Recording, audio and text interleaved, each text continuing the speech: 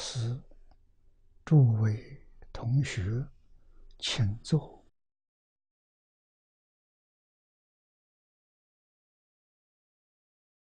请看《大经科注》第五百二十七页，五百二十七页倒数第三行。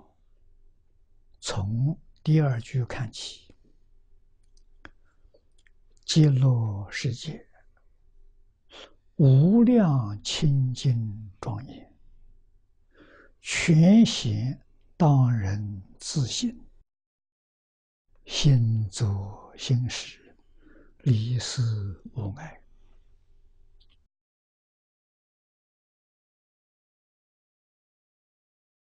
这几句。经文，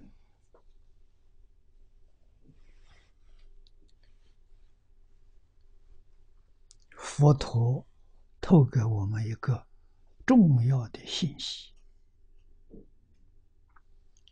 就是全贤当人自省。大乘教里面所说的。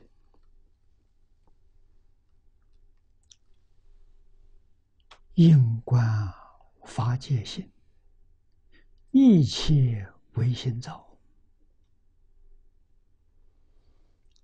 极乐世界如是，我们现前的环境也如是。啊，极乐世界是我们本性本善所造的。啊，我们现前生活的环境，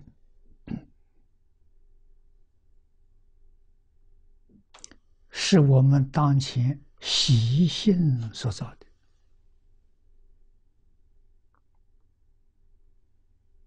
啊，大乘教里头，佛告诉我们：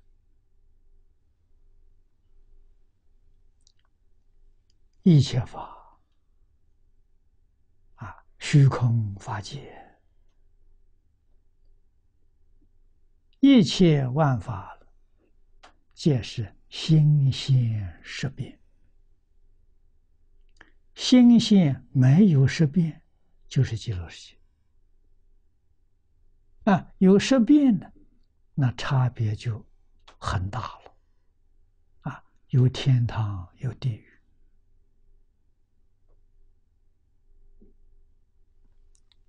我们懂得这个道理。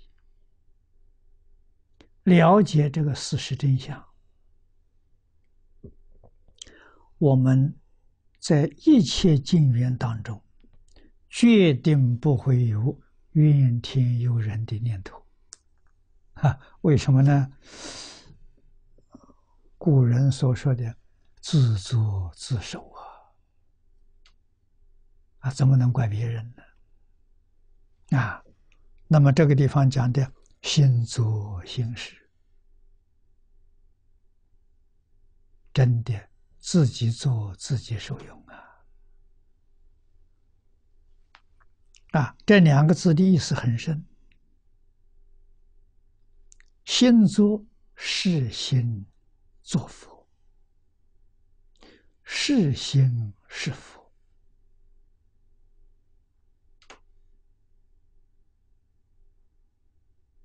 啊，那我们要懂得这个道理。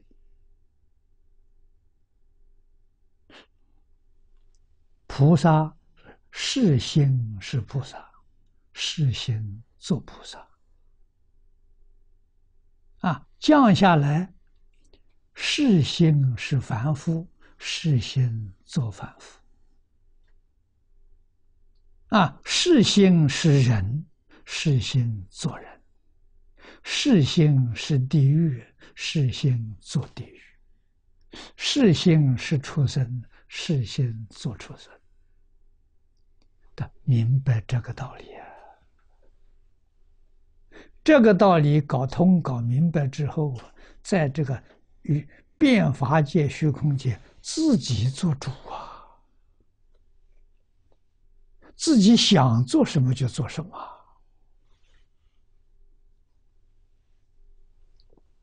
啊，大乘相宗告诉我们，每一个众生阿赖耶识里头的种子，都是圆满具足。啊，阿赖耶识里头有做佛的种子，有做菩萨的种子，也有做妖魔鬼怪的种子，什么玩意都有，齐全的。啊，那就看你要做什么了。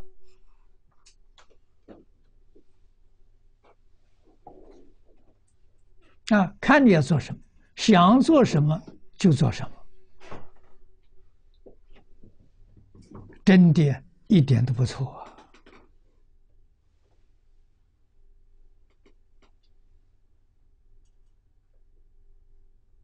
啊！啊，设法界掌握在自己的手中啊，不在别人了。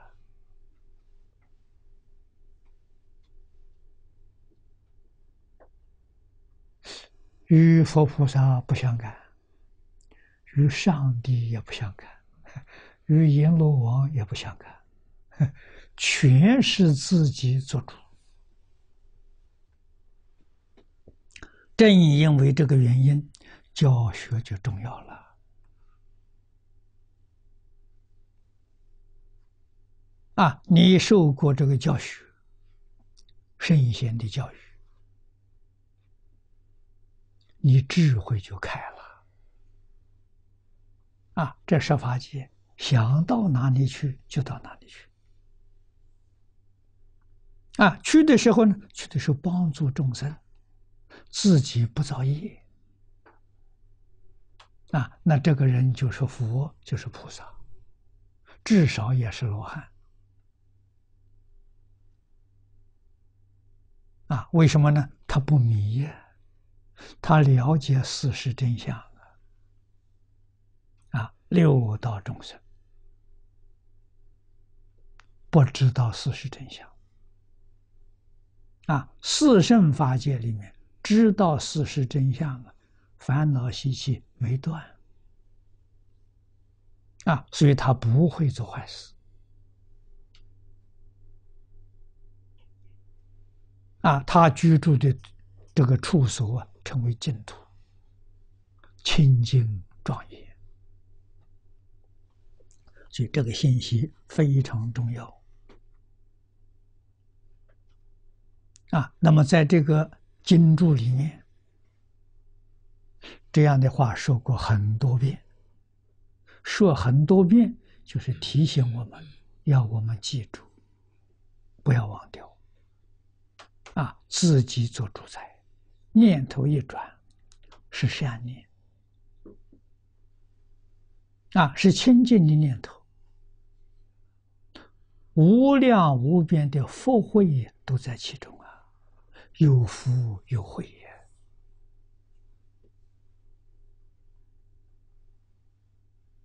啊！迷了的时候不知道啊，会做错事。啊，做再错的事情也不怕，为什么呢？觉悟啊，就回头了。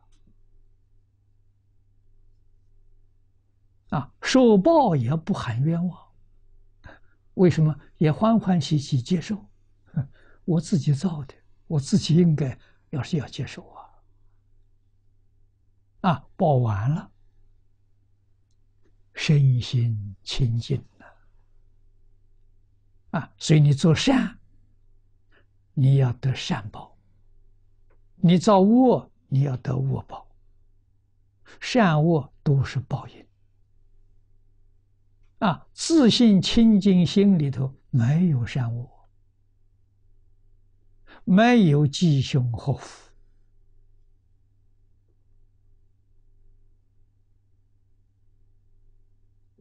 啊，那是我们学习。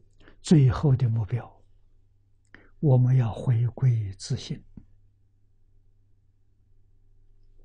回归自信，就叫做圆满成佛了。啊，成佛有不圆满，有圆满的，回归自信是圆满的。住在十报庄严土那些佛没有圆满，啊，圆满就回归自信了。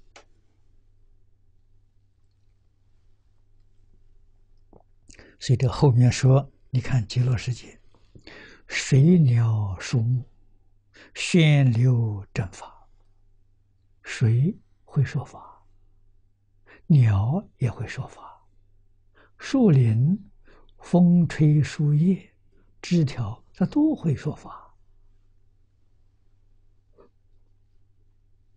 啊，声色相光，这讲了四桩事情：音声、说法的音声，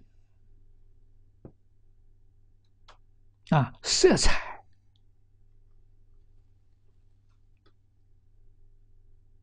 宝相、佛光，在极乐世界，这是不会中断的。无论你在什么处所，你都能看见，都能听见，增长你的道业啊！所以那个世界不会退转的。啊，你每天都是进步，没有退步的。不但佛菩萨教你，啊，连这些水鸟树林、色是这个声色相光都在帮助你，都是你学习的增上缘。重重无尽，自在无碍。啊，所以我们要认定极乐世界是个佛教大学。是个佛学的书院，它不是别的场所。到那个地方是去求学去的。啊，没有毕业你是菩萨，毕业了你就成佛了。没有第二种人，生到极乐世界全是菩萨。啊，菩萨就好比是学生。学生程度不齐，有小学生，有中学生，有大学生，有研究生，极乐世界通通都有。啊，十报庄严图的是研究生，啊，方便有余图是大学生，啊，凡圣同居图是小学生、中学生，那是一所了不起的学校。啊，往生是上学去的，啊，全是圆明具德，不可思议，全是样样都是，水也是，鸟也是，树也是，花也是，啊，连大地都是，啊，不仅是一切人，全是。圆是圆满，明是光明，具是具足，万德万能，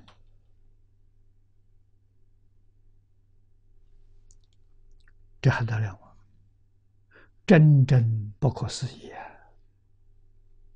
啊！啊，具体是四思无碍法界，跟华严完全相同。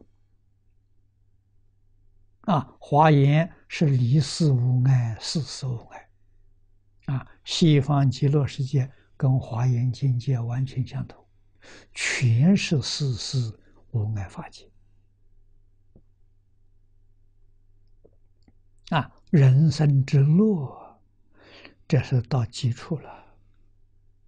这种乐，真乐，没有副作用。啊，这种乐永远不会变质。啊，复以文明变灯不退，这是阿弥陀佛本愿为神加持的，加些什么？啊，这四条这还得了啊！听到一句阿弥陀佛，你就真不退转。三种不退转，你都得到。位不退，行不退，念不退。啊，结束呢，你就五无生法人。啊，这是前面说了，见数得三种人。第三种是无生法人，无生法人七地以上啊，这个地位马上提成，提这么高啊！啊，十年必生净土，这就告诉你，我们去西方极乐世界，到那边去上学不难。啊，你看，十年就能成功，这个十年。是指临终最后的十年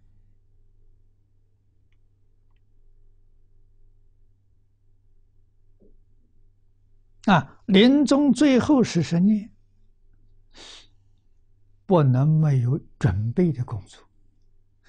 准备呀，我们现前就要修十年，一定要养成这个习惯。啊无论在什么时候，特别是紧要关头的时候，你第一个念头起来的是想福，你就决定往生。十念一念都能往生啊！就怕在紧急关头的时候，他不是想福，那多半人想什么？多半人想骂。这 一骂就问题严重了啊！在非常惊慌失措的时候，你看看他头一个就喊妈，这人心里就有妈了，这很难得了，不容易了啊！如果心里面头个还顾着名闻利养。现在人想妈的人不多了，大概头一个想钱啊，钱是多多益善的啊，是个无底洞啊，贪心的。哎，从前人想妈，为什么？从小教育教成的。伦理的观念呢，真扎了根了啊！父子父子那种亲情根深蒂固啊，现在没有了啊！现在不这个呃父子啊，在外国父子是什么关系？朋友的关系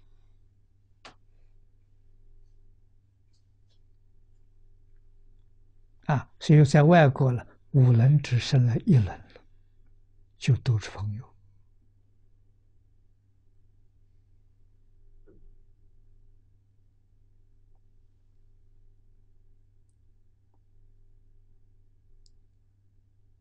啊。那么这个社会真就有问题了。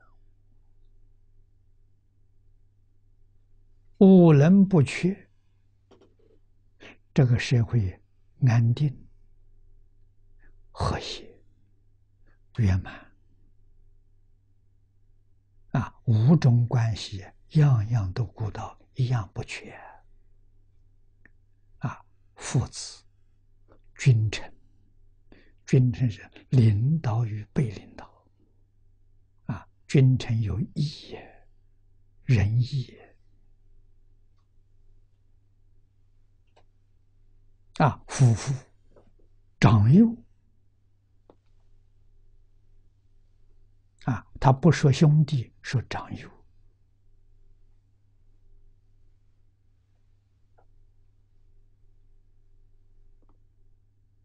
年小对年长的一定有尊敬，年长对年小的一定有慈爱。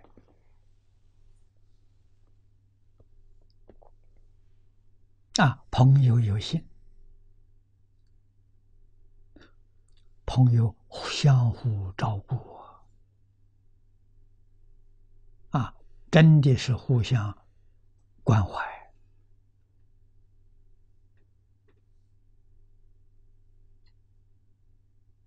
互相爱护，互助合作。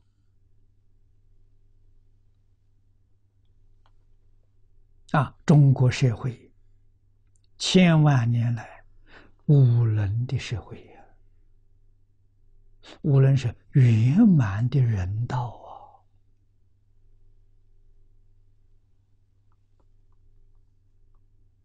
啊！啊，中国文化要是断掉了，活在这个地球上毫无意义啊！那个变法界、虚空界、星球很多，别的地方去了，不要到这个地方来了。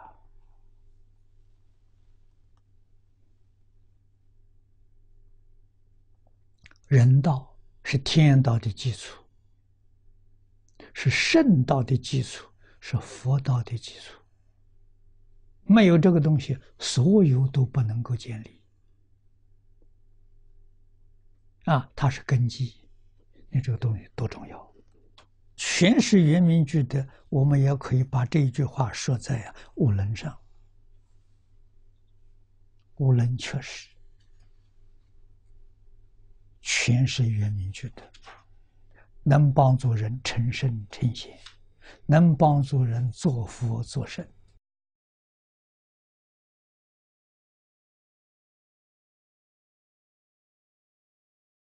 凡夫。列灯不处，这个只有极乐世界有。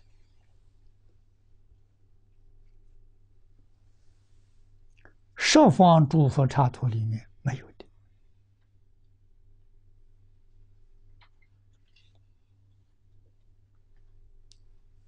我们对净土，只要真心，一丝毫怀疑都没有。只要真愿，我这一生就这么一个目标，就这么一个方向，啊，希望到极乐世界，啊，升到极乐世界，就好像念书的学生，目标当中锁定这个大学，我就想考进这个大学，啊，其他的念头没有。啊！我就希望亲近阿弥陀佛。这个心念要是非常非常的坚定，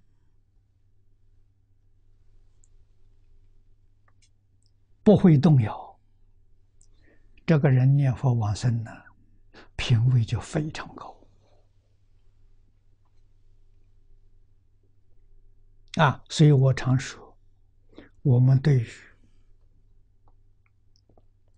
乡下这些阿公阿婆，特别是些老阿婆念佛，你看他笨笨的，什么都不会。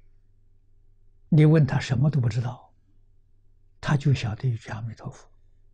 你给他讲一大堆的话，他阿弥陀佛，阿弥陀佛，到底有没有听进去不知道。哎，他就是一句阿弥陀佛，这个人不得了啊！这个人往生的时候品位高啊！别以为我们聪明能侮辱他，他蠢的。我们念佛又夹杂了，那功夫就在这个地方算，越纯地位就越高。啊，我们有有怀疑，还有杂念，啊，升到极乐世界就不错了，啊，品位不能跟他们比呀。中国古人有一句话说：“上智与下愚不一。”换一句话说，上智跟下愚可以划等号。上上智啊，上上平往生；下愚也是上上平往生。啊，古人有一句话感叹说：“愚不可及呀，他那种愚我比不上他了，那是专纯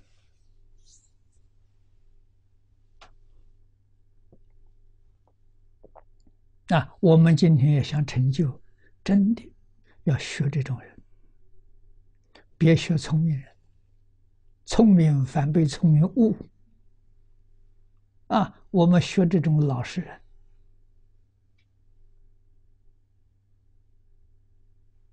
当然，也要有客观环境啊，所以古人对环境的选择非常重要啊。但是真正发心的人，一定会有这种环境给他。那佛菩萨照顾你啊，阿弥陀佛保佑你。啊，我们自己要认识，这个是先决条件。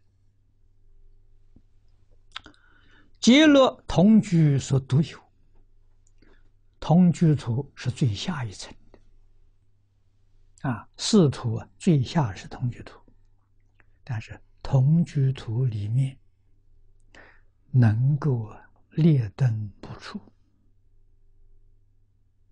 这就跟。上上品啊，画了等号啊。故云无上殊胜超世之愿，弥陀这一愿确实，十方一切诸佛如来没有，不是诸佛如来没智慧，不是诸佛如来的德行比不上阿弥陀佛。不是的，他们智慧德能是平等的。那些佛没想到啊，阿弥陀佛有没有想到？阿弥陀佛也未必想到。那他为什么会有这愿呢？哎，他去，参观，去考察诸佛世界，看到有这些事情，他发的这个心。啊！诸佛如来修行正果成到佛了，未必去到每一个佛土里头去做考察的工作，啊，去参观考察没有？哎，他干了这桩事情。啊，前面我们读到啊，他参观考察二百一十亿诸佛刹土。二百一十亿不是数字，是表法的，代表大圆满。密宗以二十一代表圆满，啊，华严用十代表圆满，弥陀经用七代表圆满。啊，七怎么说呢？四方、上下、东着当中的七，这是圆满。啊，从空间讲的，十是数字，从一到十是个圆满数字，啊，密宗用二十一，啊，二二百一十亿，这就代表大圆满，啊，圆满当中的圆满，表这个意思，所以殊胜超世愿从这么来的。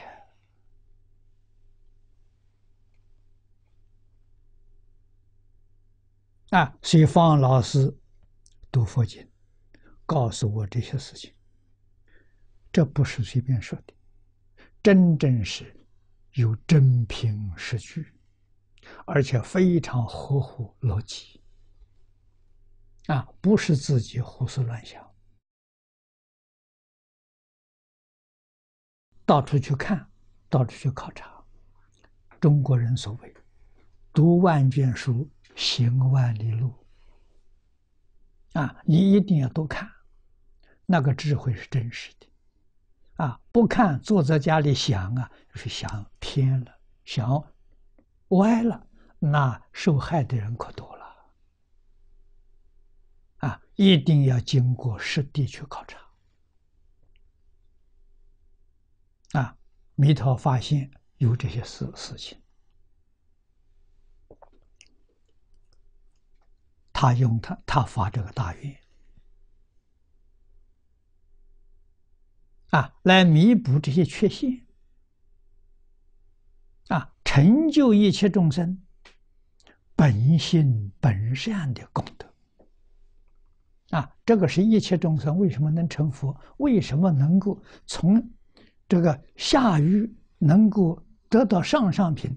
因为他本性本善，他本来是佛。啊，那他做佛是应该的，没有什么稀奇啊。啊，所以这些呢，都在语言不同。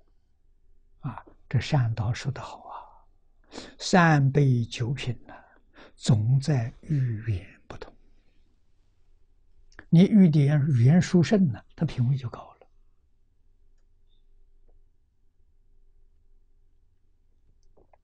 这个例子非常鲜明啊。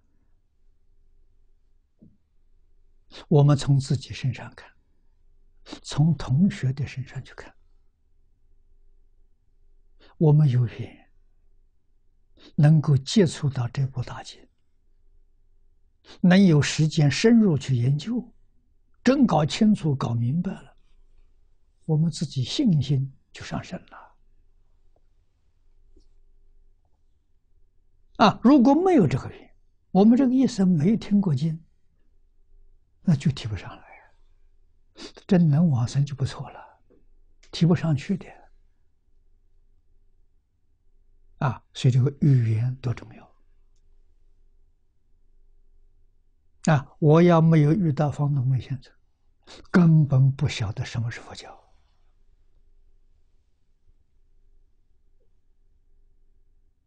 啊！他给我上了这个科目，就把我一生改变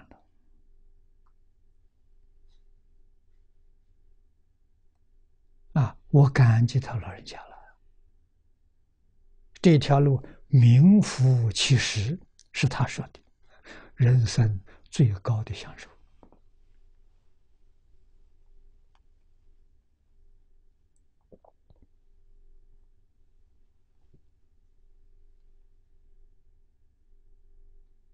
啊，我这一生得到这个享受，比他殊胜。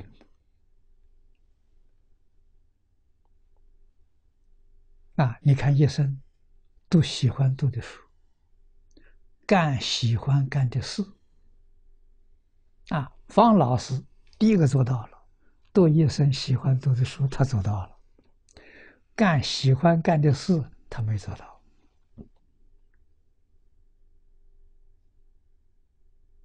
啊，他在学校教书，一生是教授。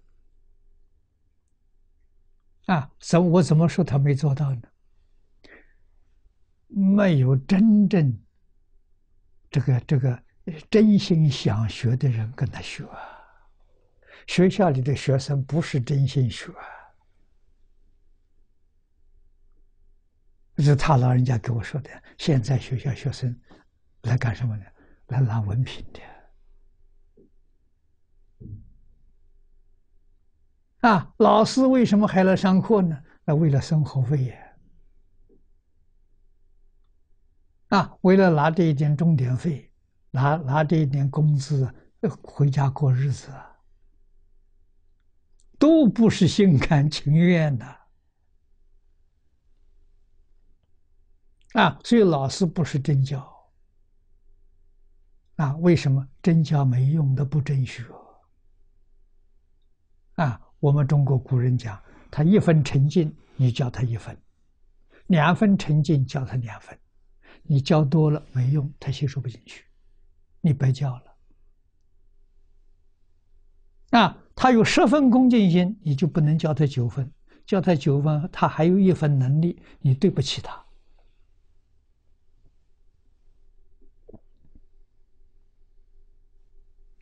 啊，那么我们就知道，老师在课堂里上课的那个情形呢，能体会得到啊。我想跟他学哲学，他不让我到学校。啊，特别开阔，在他家里。啊，那我们想真学嘛？啊，我们才懂得这个意思，无尽的感激。啊，我们没有交一分钱学费，跟他没有任何关系。啊，他能够这么热心教导，啊，我们也真听话，一生走这条路。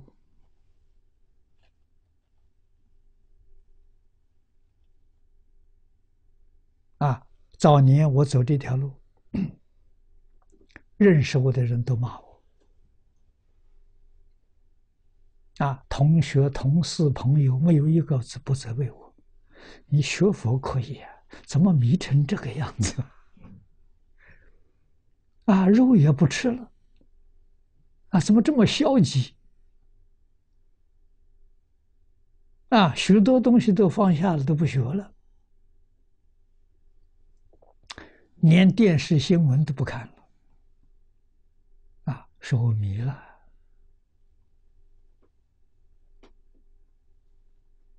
啊，我也很感激他了。我说人各有志啊，啊，我所了解的佛法跟一般社会了解的不一样。甚至跟很多出家法师了解的也不一样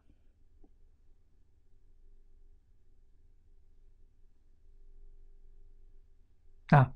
二十年之后，我那班朋友碰到我了，嗯，个个都点头不摇头了，啊，赞叹我，你走对了，啊，说我走对了。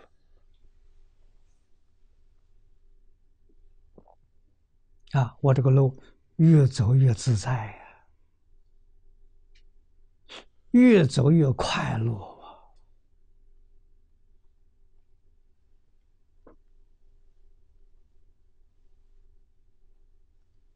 啊！证实了方东梅先生所说的句句真话实话。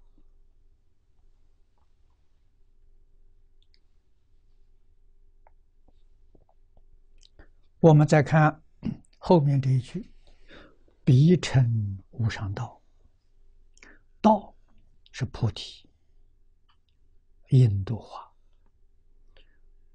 中国的意思觉悟，必成无上道啊，就是大彻大悟。啊，悟的什么呢？宇宙万法的真相，你搞清楚了，搞明白了，这叫无上道啊！如来所得之道，更无有能超越而居其上者，故曰无上道，就是无上正等正觉。阿罗汉所得到的叫正觉，菩提，正觉就是菩提。啊，菩萨所得到的叫正等正觉，等是等于佛，而不是佛，比佛还差一等，比阿罗汉高很多。啊，也叫菩提。啊，佛所证得的，嗯，就圆满的，没有再超过的，所以加上无上、无上菩提，这三个都叫菩提。啊，佛所证，菩萨所证的，阿罗汉所证的。啊，那么菩提大小不一样，小菩提、大菩提，我我们用这个来称，称来区别它。如《法华经》受量品有这么一段话：“美自作是意，以何令众生得入无上道？俗称佛身啊，佛成就佛身。这是诸佛菩萨，他们起心动念呢，没有想到自己。啊，这个作意就是我们今天讲起心动念。啊，做事意就是起这个念头。啊，这个念头是什么念头呢？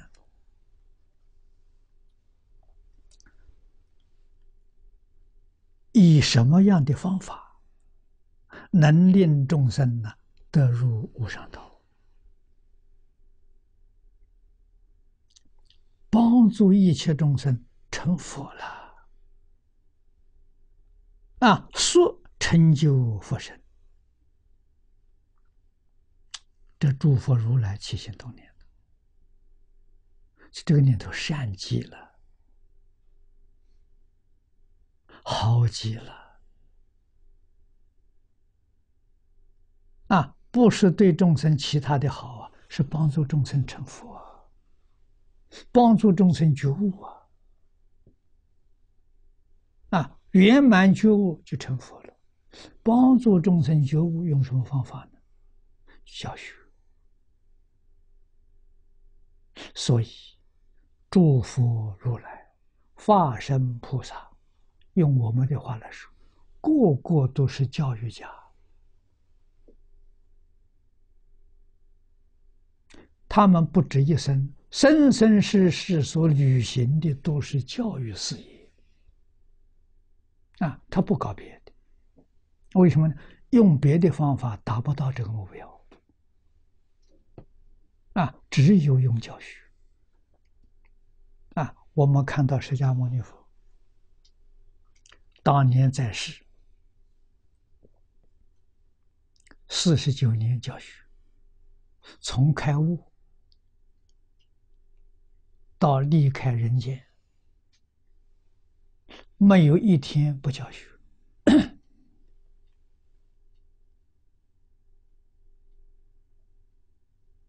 啊！世尊给我们介绍极乐世界啊，这本书就是介绍极乐世界的说明书。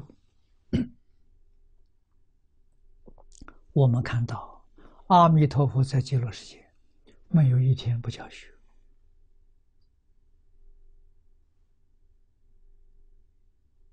再看到佛给我们旁征博引，说到十方诸佛刹土，诸佛如来、化身菩萨也是没有一个不教学的。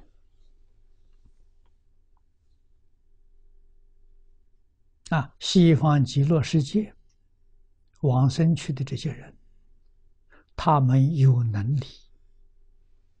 我们相信也是事实，他有能力分身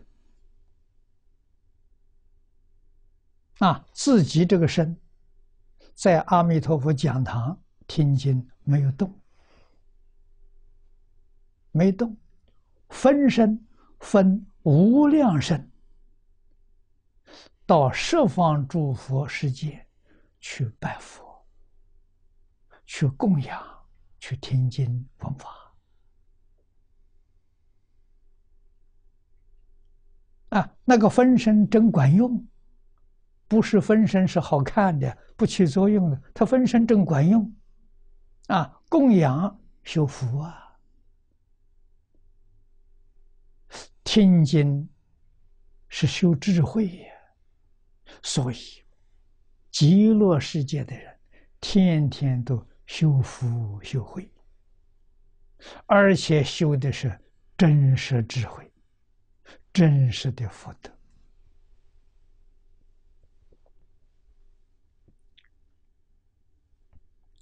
我们在这个世界想找一个好老师都找不到，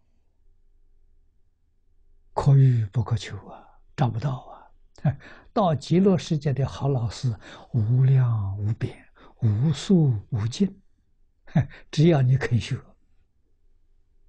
啊，哪有不成功的道理呢？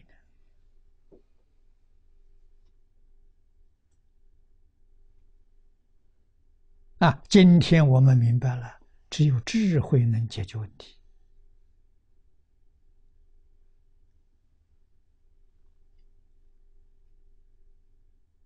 啊，真正有智慧了，了解事实真相。事实真相里头有一句话：总纲领、总原则。这个真相告诉我们：一切法不生不灭，这总纲领啊。首先要知道啊，一切法既然不生不灭。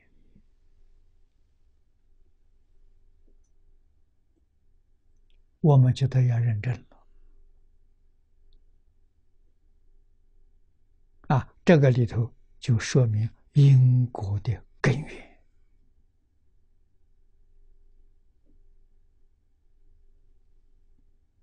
啊，不生不灭是现象，这个现象很深，哲学跟科学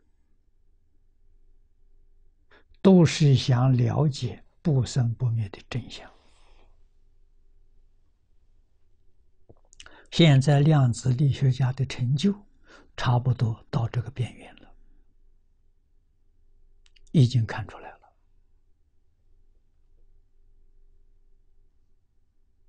啊，这个方法是老方法，大乘佛法里面教教给我们分分析。啊，用物质来分析，分析到最后，真相就明白了。啊，科学家也用这个方法，真看到了，跟佛讲的一样。啊，真相是什么？真相是个波动现象，频率非常高。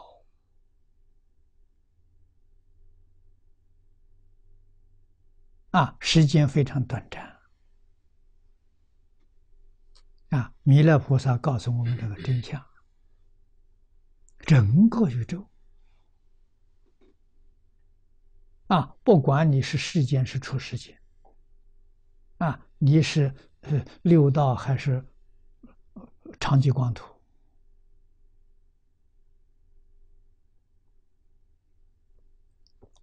都是波动的现象。所以，今天科学家提出弦定律，啊，用这个来做比喻。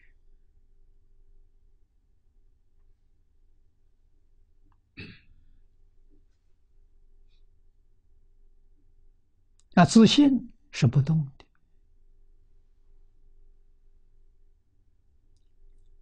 它是静的。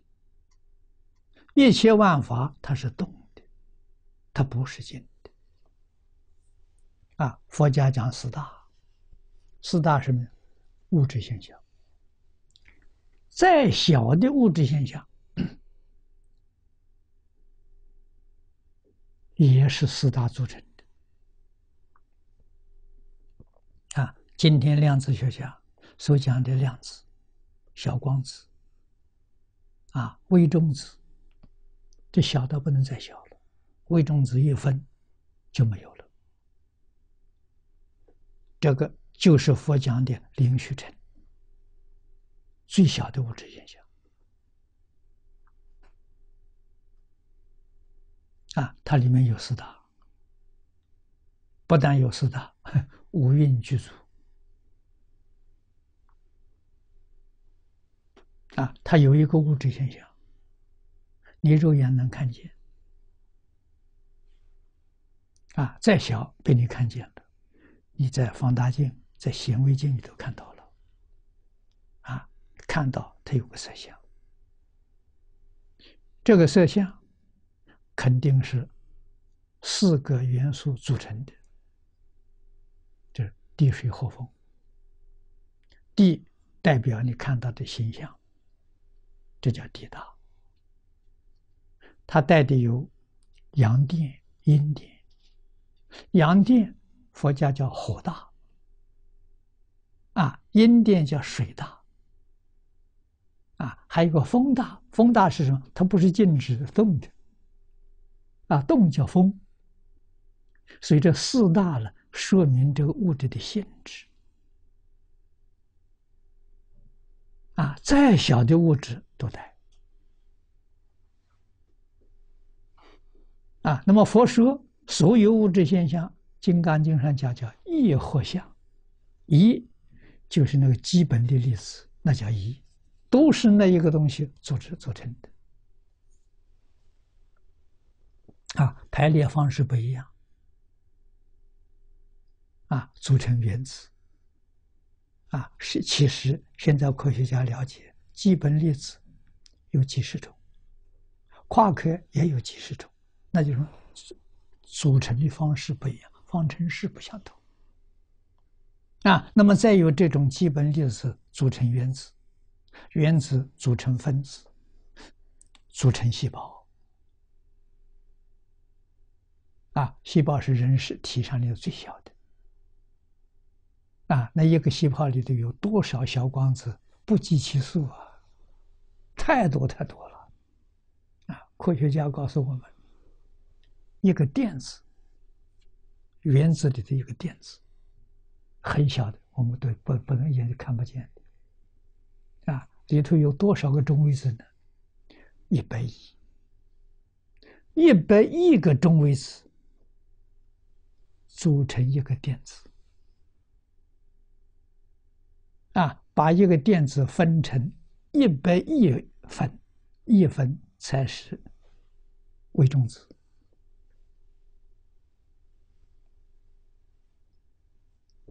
啊，这个是物质现象搞清楚了，搞明白了。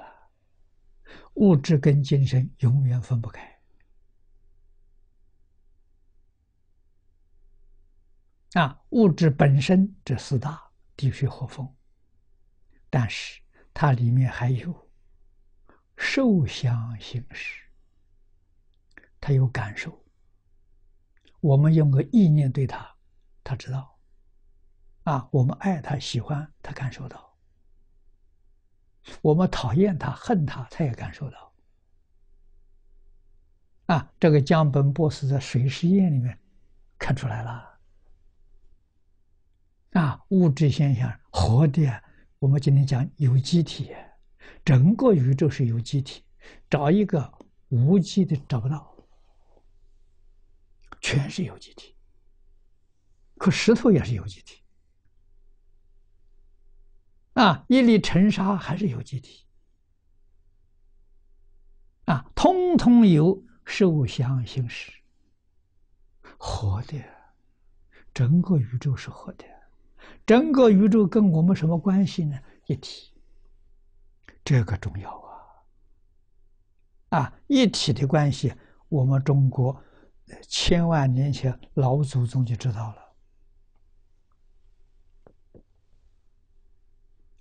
老祖宗从哪里知道的？我怎么晓得老祖宗知道的？我从一句话，这一句话是中国传统文化的核心，中国传统文化的原始点。我从这知道的，父子有亲，这还得了吗？这是一体呀。一体里头会发生什么东西啊？发生这个情爱啊！所以你看这个江本博士告诉我，他这个爱跟感谢是不是宇宙的核心？他做几十万次的实验，爱跟感谢谁接近特别美？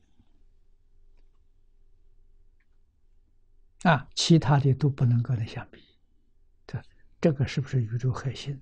我告诉他一点都不错。啊，这个爱就是佛家讲的慈悲。啊，所以古人说，什么是佛教啊？有人问什么是佛教？慈悲为本，方便为门。啊，回答人家，人家问什么是佛教？这两句话：慈悲为本，方便为门。一点不错。如果有人问我们，什么是中国传统文化？也用这两句可以答复。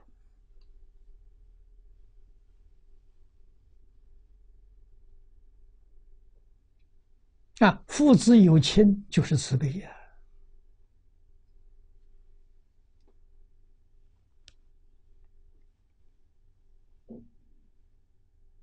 啊，那方便是什么呢？其他的四伦是方便，父子有亲是核心，那是根本。啊，然后五常、四维、八德都从这延伸的，那全是方便。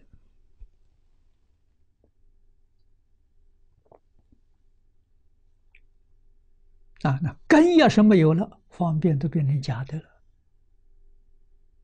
都变成那个欲望的奴隶了，去替他服务去了。根太重要了，根就是孝啊！你看“孝”这个字，会意，那表法了，意思多好啊！上面是个老，下面是个子，啊，一体呀。分开就没有了，笑就没有了，整个宇宙跟我是一体，这大笑啊，这真笑啊！就中国古人造字，那是高度的智慧呀，我们一般人想不到啊。在中国文字有个好处，你不看，你不认识它，你不知道它念什么，念什么声音。你看他的形象，懂他的意思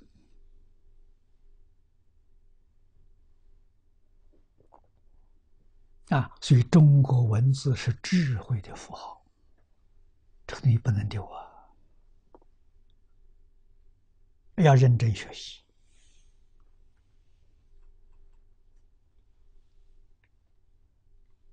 啊！中国的文言文不能丢。文言文是中国智慧的根，智慧的念啊！因为言语会随着时代改变，那个文言文是永恒不变的。老祖宗用这个方法，这是全世界其他的民族都没有的，也只有这一家。啊，发明这么好的一个东西，啊，它不跟着人的语言转。换一句话说，它超越时间，它超越空间，而且学习不难。啊，真学会了，老祖宗的智慧，那个智慧的宝库啊，钥匙你就拿到了，你尽情去享受啊。啊，用两年的时间，这个钥匙就拿到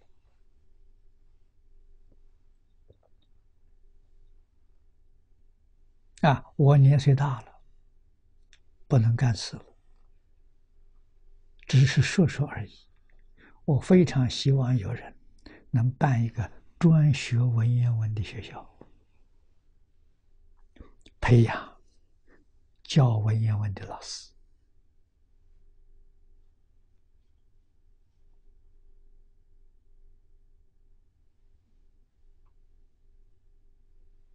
啊，那么有人说，我学这个东西，将来我我到哪里去找生活？啊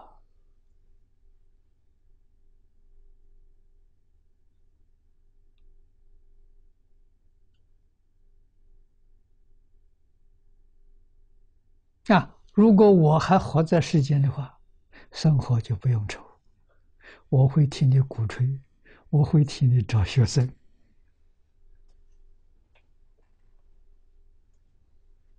啊，生活决定不会有问题。为什么呢？祖宗会保佑你，三宝会加持你，你一点都不要操心。这个话是早年张家大师教给我的。啊，真的很多人担心啊，啊，你出家了学讲经了，学讲经的人寺庙不要啊，寺庙要赶经忏的，不要讲经的。那讲经的真的没饭吃啊，所以多少年轻人这个出家想学讲经，以后一听到老和尚这些话，都吓退心了。啊，讲经没人供养啊，金忏佛是有收入啊。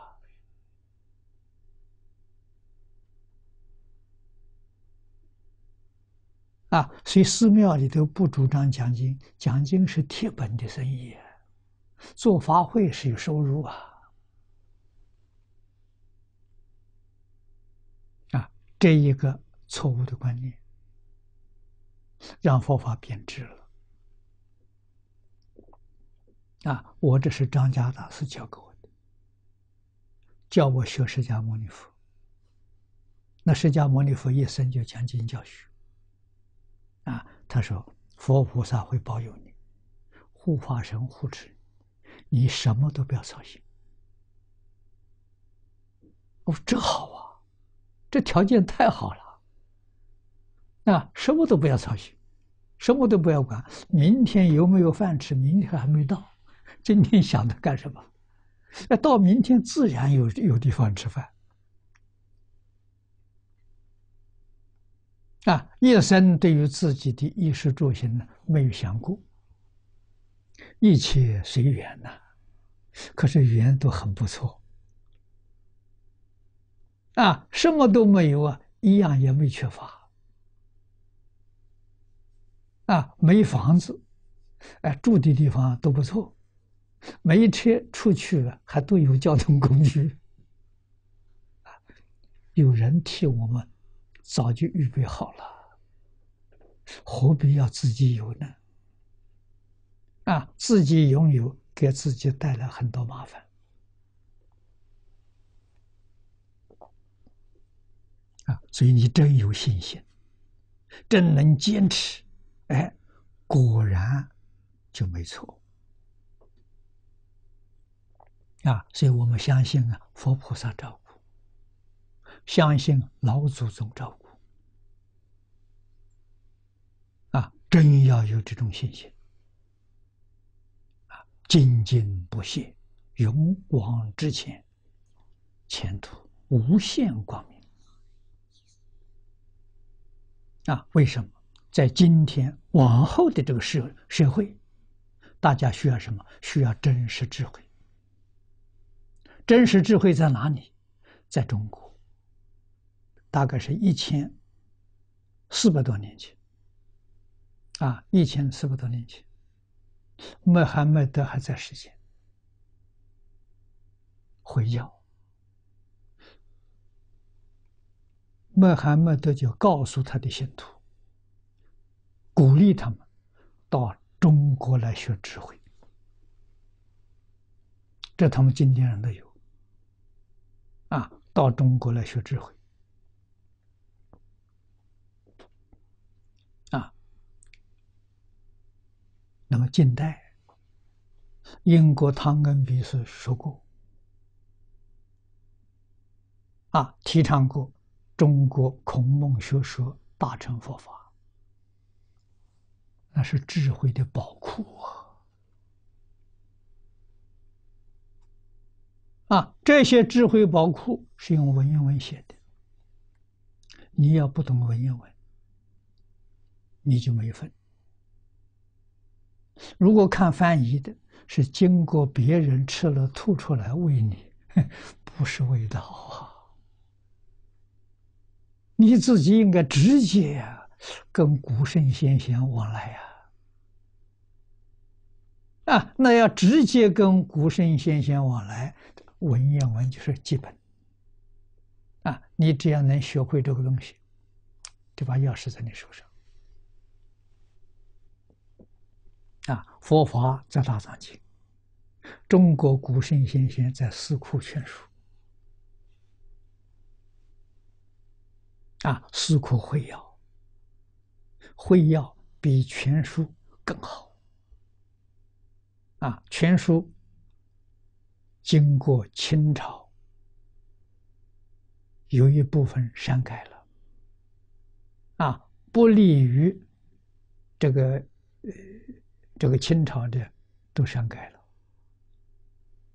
啊，但是徽要没有，徽要是原文一个字没有改动，啊，为什么呢？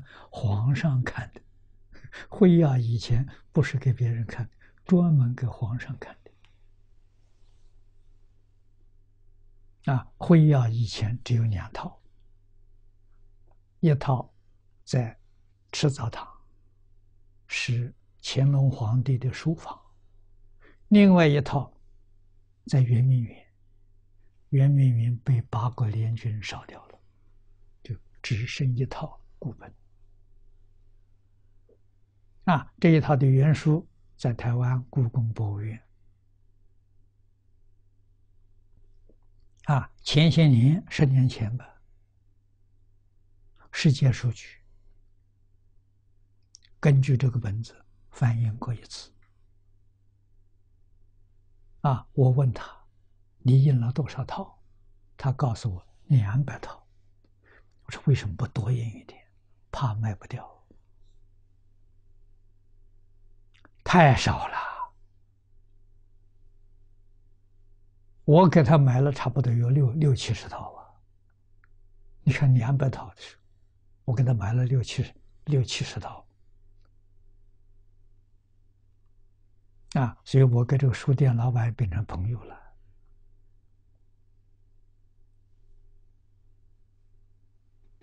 啊，去年，民国一百年，这两家书店又发现再版，啊，这个很难得了。啊，商务印书馆告诉我，全书。计划决定再版，啊，纪念民国一百周年，我就订了一百套。啊，这一百套呢，原本是想供养大陆各个大学，啊，那个时候正好山东大学。詹校长啊，我们很熟啊。他邀请我做学校的校董兼教授，我就跟他谈到这个事情。这个商务啊，准备印重再再版呢全书。我说我订一百套，这一百套呢交给你，你替我去分送给各个大学。他同意了，啊，结果没想到他调走了。下面徐校长我也认识，没有那么热心。啊，他不帮助我了，这书进不去。啊，所以这个书啊，还是进去了一些，不多。啊，我就送到国外，送了不少。啊，大概现在还有十几套。啊，那么世界书局这个会要，我订了两百套，今年五月交货，书就交给我了。我这两部书，啊，两百套会要，一百套全书。我是成本价钱一千万美金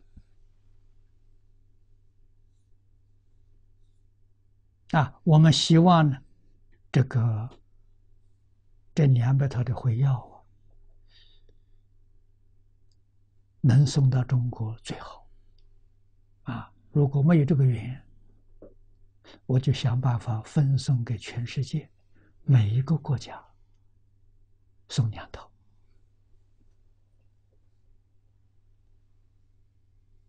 啊，要送一百个国家。啊，这个我要找联合国。啊，请他们帮助我。啊，但是我们是以自己国家为优先，自己国家不要了，就送给别人。啊，我鼓励全世界人学中国文言文。你们要有智慧，一定好好的认真学习。啊，为什么呢？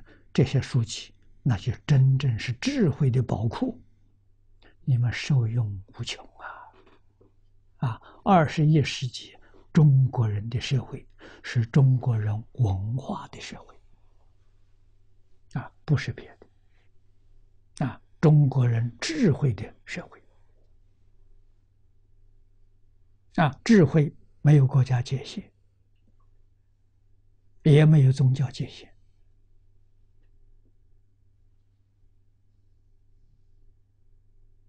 啊，所以今天我们讲教育，所收获的，就是根收获了，没有从根本上下手，根本就是老祖宗传的五伦、五常、四维、八德，这个东西是根，总纲领、总原则。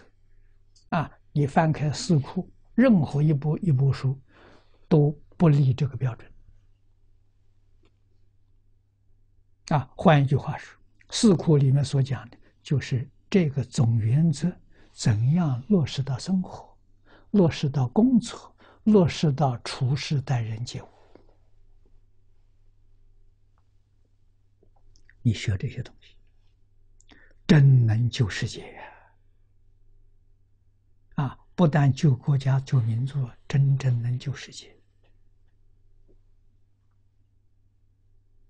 啊，所以我是把这个设方的供养做这个工作，啊，我不改庙，啊，我不要道场，啊，我就做这么一桩事情，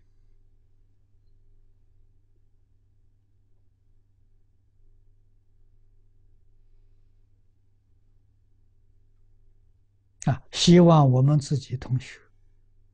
对这个人有认知，年岁还可以，认真学习啊！啊，四十岁之前这个年龄不晚了啊！别人用两年学会，我用五年学会！五年之后还有发挥的地方啊！真正干，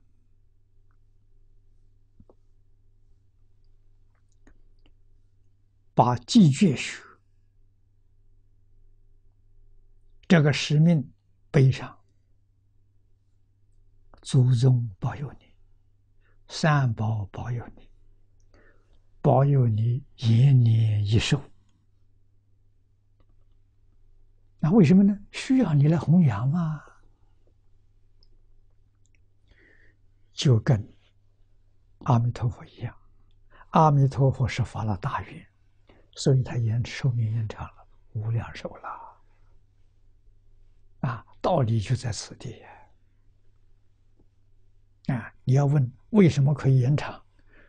根本的道理，是因为你本来是佛，所以可以延长。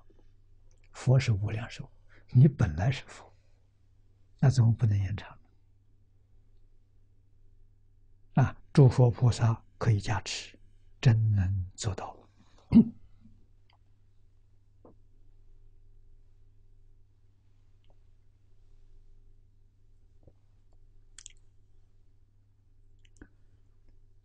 啊，这法藏菩萨亦如是，欲令众生知无上道。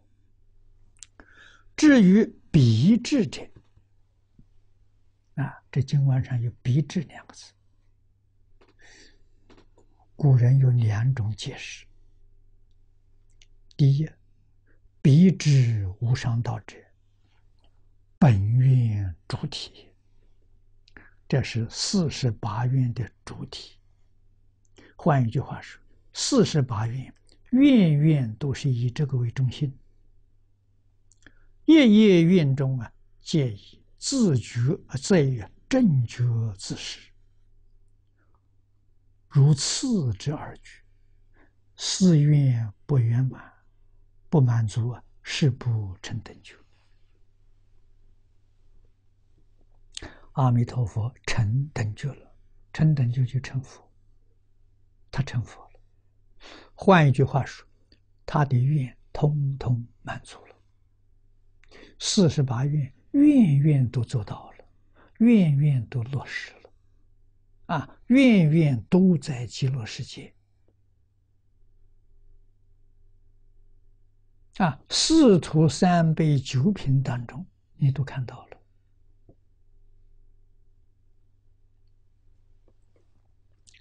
该四十八愿，具体愿文虽各有异，但大愿共本呢，是为如。无上道同成正觉，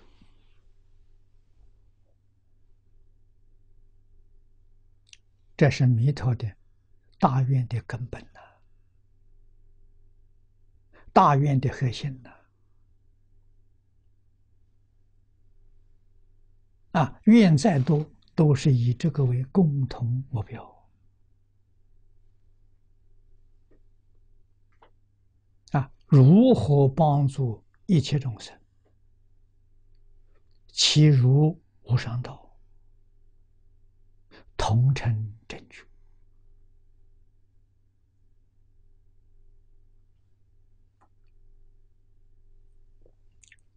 从事教学工作的人，对所有受教的学生，应当有这种心态呀。怎样帮助他断疑生信？啊，佛家这个信跟宗教不一样。啊，佛家信是信谁呢？信自己，不是信佛。啊，信自己是什么呢？以中国传统东西来来说，信自己的。自信本善，就本性本善啊！相信我这本性本善呐。那你要学佛呢？相信我自己本来是佛。这个跟宗教性不一样，宗教信信他啊，信上帝、信神不中，佛法不是啊，佛法是信自己。啊，这个要错了，那你就错到底了。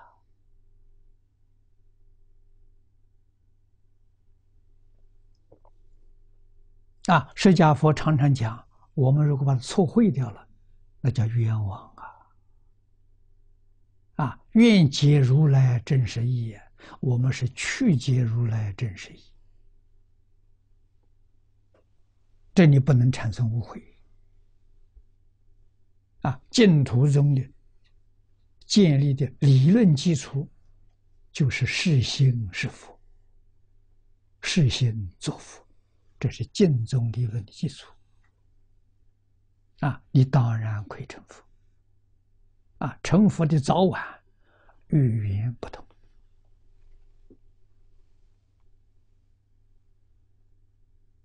啊，讲绝了。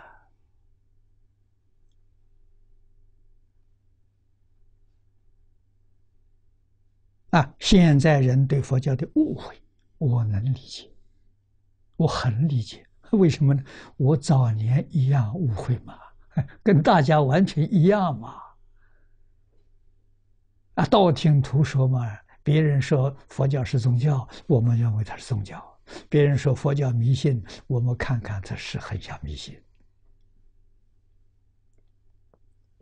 啊，只是看到外面表面，没有看到里面。啊，不过隐形到里面你也看不到。啊，没有了。啊，所以方老师告诉我那句话真的重要，告诉我佛经哲学不在寺庙，我问的在哪里？在经典。啊，这个指导非常重要。啊，如果没有这个指导，我们到寺庙一看不像，方老师的话是假的，不是真的。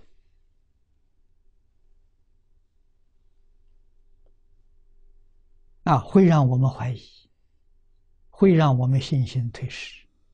啊，那他一说这个，我们明白了，我们要找真的佛东西在经典里头。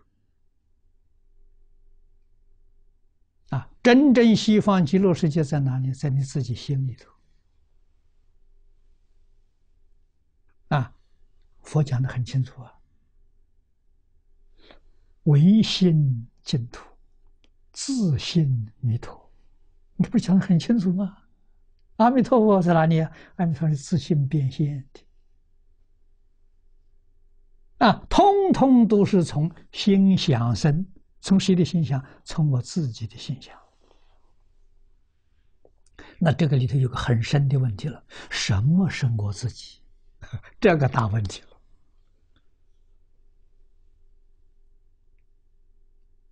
啊，那我佛说了，我们这些人六道众生都是把自己迷了，不认识自己了。啊，但是他讲的很简单，只要你放下起心动念。放下分别执着，你的真面目就显现了。啊，你所以迷失了自己，不认识自己，就是因为你有起心动念，你有我，你有分别，你有执着。啊，你不认识自己了。啊，不认识自己，自己变质了。那不是不存在，在呀。变直了，变成现在这个样子，啊，认识自己了，哎，你就变回去了，啊，回去的样子是什么？圣人，是佛菩萨，啊，通通是你自己，不是别人呐。我们学阿弥陀佛，希望我将来做佛跟阿弥陀佛一样，我们往生极乐世界。希望我们将来成佛，我们的世界跟阿极乐世界一样，省好多事啊！极乐世界是阿弥陀佛收集所有诸佛刹土里面的真善美的大臣啊，他就收集啊，花了五劫的时间呢。我们到极乐世界现成的。啊，等于说他在那里建了个展览馆了，设放插图、真善美会全在这个里面。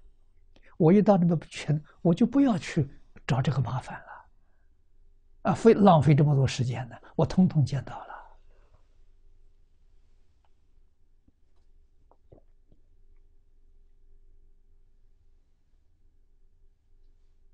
啊，我读的这些东西，啊，我有我这个想法。我们今天能够把这个地球上啊这一万几千年历史文化啊，我们都去学习，我们找一个地方建一个小城啊，把这些东西通通在这做出来，这就是地球的文化城啊，就是地球上的极乐世界啊，这个。这想法从哪来的？从极乐世界来的。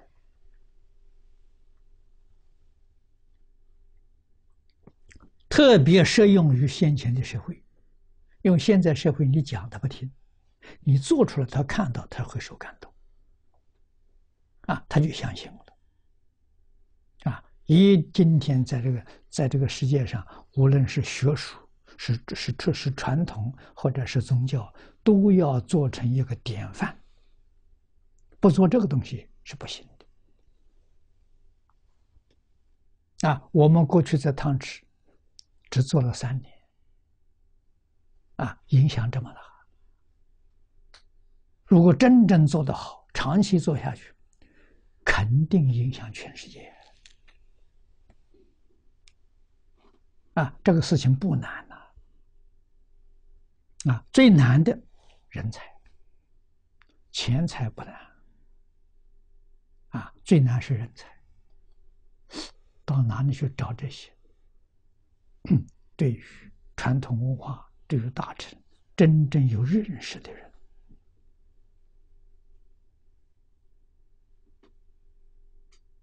啊，这个认识人也不需要多，有个二三十个人呢，就能做到很成功。啊，这才真正是教化众生的。啊，一定经营一个点，不能搞太多，太多了，精神。体力通通啊消耗掉了，做不好啊！真正做好就是一个点，一个点做好之后，希望别人去做第二个点，做第三个点，啊，一生永远就经营这一个点，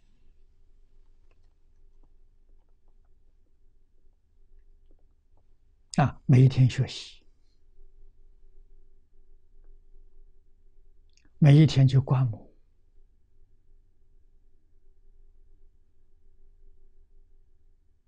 啊，取人之长，舍人之短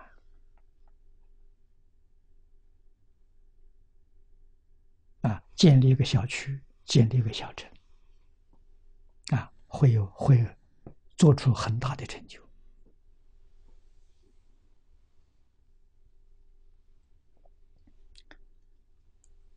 下面念老引用《法华经》劝持品里头两句话：“我不爱生命，但惜无上道啊！”我们从这句话去体验，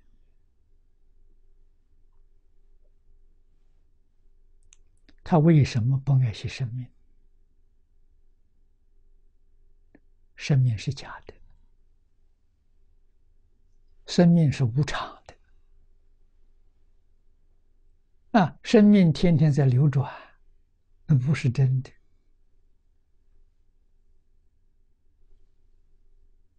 无上道是真的，无上道是永恒不变的。实际上，无上道才是我们真正的生命。我们不生不灭的生命，我们要爱这个，啊，身体无所谓啊。所以人生在世啊，最重要一件大事是什么？提升自己的灵性。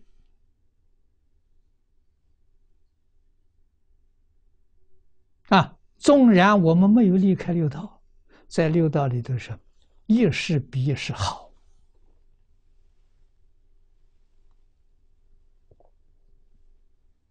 啊！但是搞清楚、搞明白之后了，我就相信啊，你一定会到极乐世界去。啊，为什么呢？虚空法界里头最殊胜的一个地方。啊，我到那里去学，学成之后，我再回来，在地球上搞一个小城市，建立一个极乐世界。啊，这地球上的极乐世界，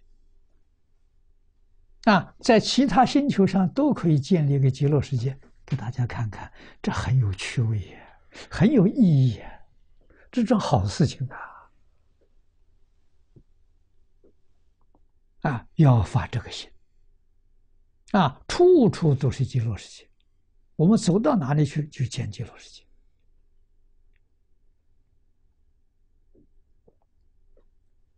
啊，那么现在我们学习这部经，这是在暖身的工作啊在网络面前，在电视机面前的同学们，我们大家同发这个愿啊！这个愿心一发，给诸位说，灾难就会减轻。为什么？灾难是我们念头变现出来的。啊，今天地球上灾难，根本的原因是不善的心，贪嗔痴慢疑。我们现在是这个心啊，这个心就感灾难。啊，我们的情绪是怨恨恼怒烦，我们造的业是杀盗淫妄，这能能没有灾难吗？这灾难从这些来的啊！我们今天相信老祖宗，相信圣贤，相信佛菩萨。啊。我们把儒释道三个根本落实，落实《弟子规》，就是落实五伦、五常、四维八德。啊，落实感应篇，道家讲的因果报应。啊，落实十善业道经，佛法的根本。啊，这个是德行的落实，有这种德行，这都是基础，根本的根本。再把文言文学会。办什么事情都通了啊！智慧从哪里来？老祖宗会告诉我们，大乘经典会告诉我们啊。这个里头有理论，有方法，有经验，什么玩意都有啊。我们这些人想不到的，它都全有啊。今天科学跟哲学所探讨的问题。啊，还没有答案的佛经上都有，所以我们看他的报告，他走到哪个层，我们清清楚楚。啊，他到哪个阶层？啊，特别是最近八十年，就看得很清楚。啊，你看这个八十年书，他们从原子发现原子，到现在发现的中微子，啊，微中子。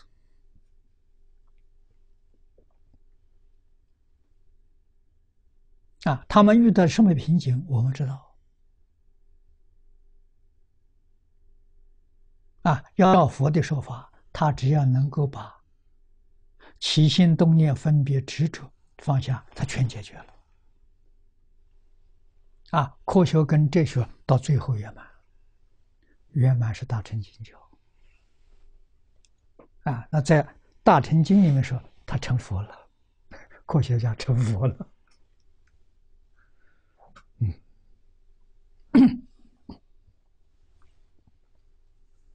所以这两句话重要啊！这个身是假的，啊，身是无常的，不必太爱惜它了，要爱惜无上道。是乃以无上道 为大愿之主体。第二呢，以无上道为大愿之果，大愿的结果，静因所缘。得果决定啊！现在我们说决定得果，果云必知无上道也啊！必定证无上道！下面第二段，普令成佛，真难得啊！这个叫真正的好老师。啊，不是叫我们有一点小成就啊，叫我们有圆满成就。啊，我们看经文：佛为大施主，普济助穷苦，令彼助群生，长夜无忧恼，畜生种善根，成就菩提果。看这六句。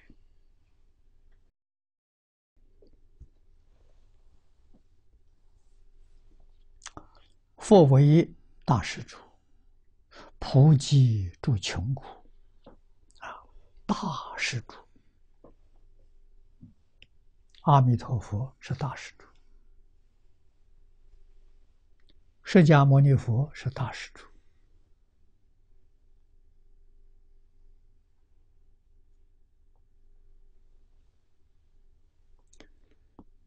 大臣教菩萨。六门功课，第一门就是布施。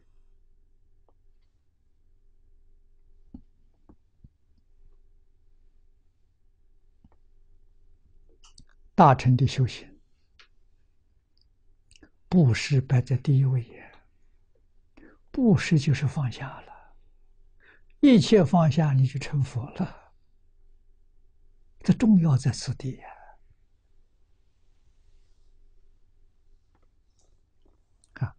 大施主者，与一切人行大事。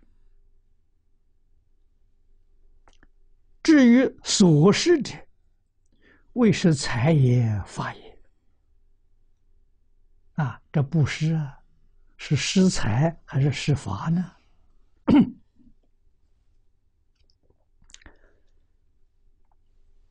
静音寺云。经言是小慧园，隋朝时候的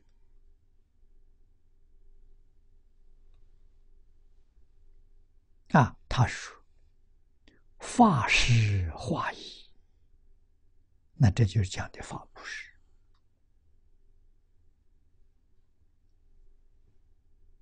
啊。释迦牟尼佛当年在世，一生所做的事情呢？”就是法布施，天天为大家讲经说法，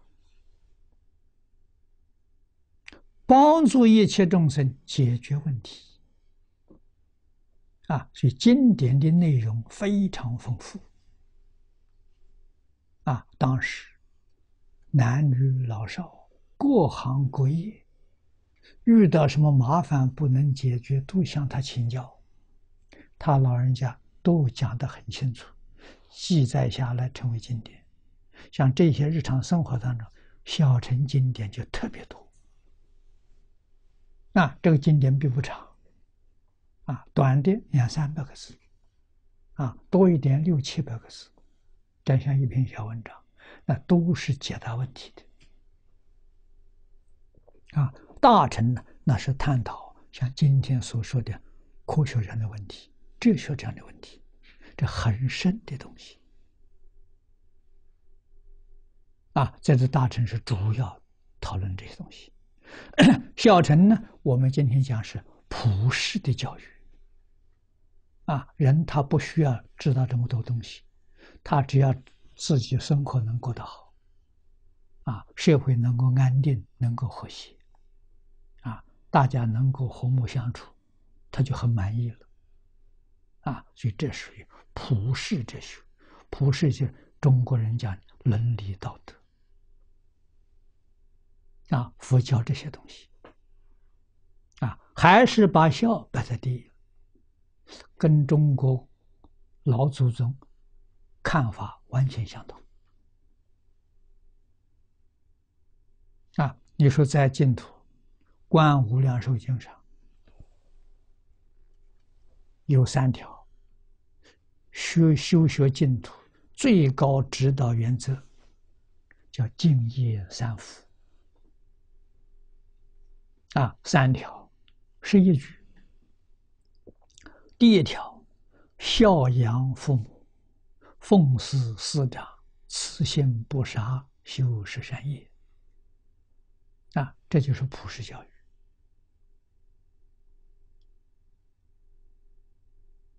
啊，人民在这一生当中，享受到幸福，啊，享受到圆满，啊，社会安定，长治久安。啊，这四条啊，啊，根是孝啊，啊，孝敬的啊，第二条是孝成，受持三规，具足众戒，不犯威仪。只有三句啊！第三条是大乘，发菩提心，深信因果，读诵大乘劝进行者，总共十一句。这是修净土最高指导原则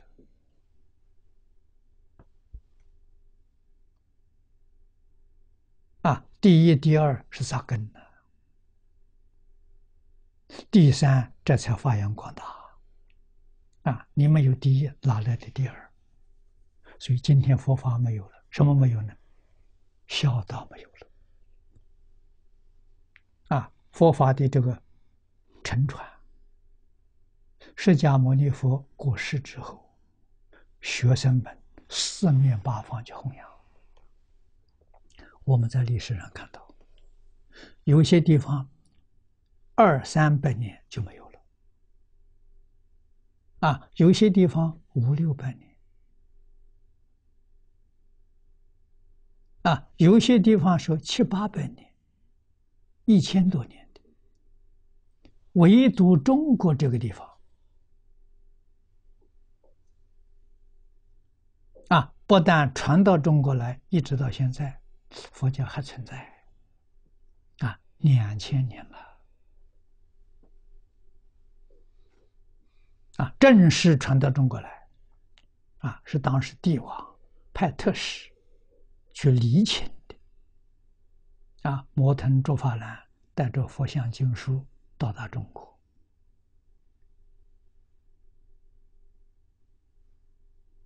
是汉明帝永平七年，公元六十七年。啊，那如果是。两千零六十七年，就是两千年整了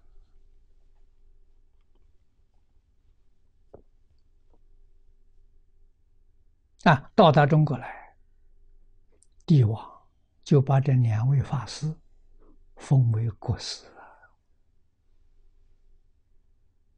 真的学习啊！中国人接受佛教的文化。啊，这汤恩比博士说：“中国古人心量大，能够包容异族文化。啊，佛教是从印度传来的异族文化。啊，后面他说，佛教文化丰富了中国本土文化，到中国来说，跟儒跟道融合成一体了。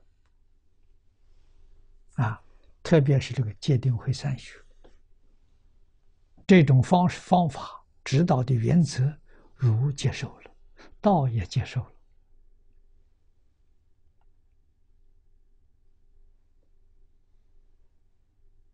啊，随着信仰能包容，啊，他才会有这样的发展，啊，就法师、法博士、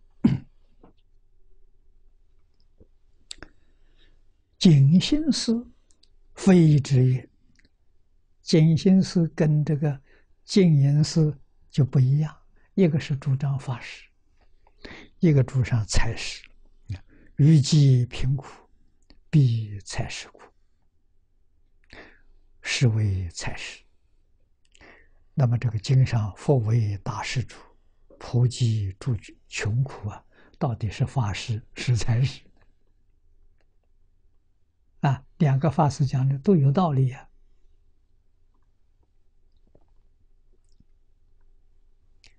宗经录里面第九十五卷，宗经录一百卷，永明延寿大师做的，他是揭露啊《大藏经》大藏经里的精华，他把它揭露出来了。啊，所以没有时间读大藏经，读这个就行了。这是大藏经的解要，非常著名。啊，总经的九十五卷书，以无财法，名为贫穷。故知呢，普济贫苦啊，继续财法并施啊。这两种都要施才行啊！啊，那么在本经《济公累德篇》里面说：“恒以不施，恒是常，经常不间断。”啊，要以布施、持戒、忍辱、精进、禅定、智慧也，六度之行，教化安利众生，助于无上真正之道。这叫法师啊，这是教学啊，不能忘记布施啊。布施是行道第一个手段，啊，道要落实在生活当中，要落实在家庭，落实在社会，落实在族群，落实在国家，落实在世界。用什么方法布施？啊，布施财法都要。啊，要两种并重。那经中又说：“手中常出无尽之宝，庄严之具，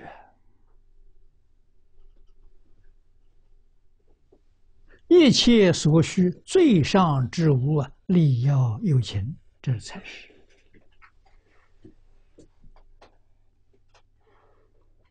啊，所以是发布施是为主，财布施完成发布施。啊，没有财施，法施就不圆满了。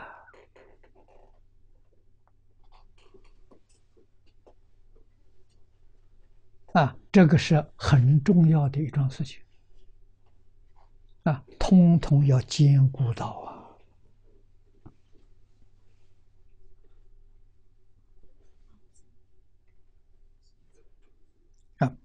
在底下说：“古之大师主，必须财阀二十。”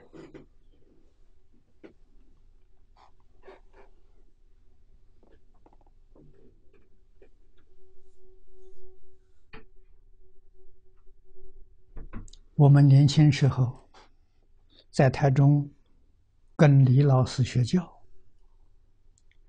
老师对于布施很重视，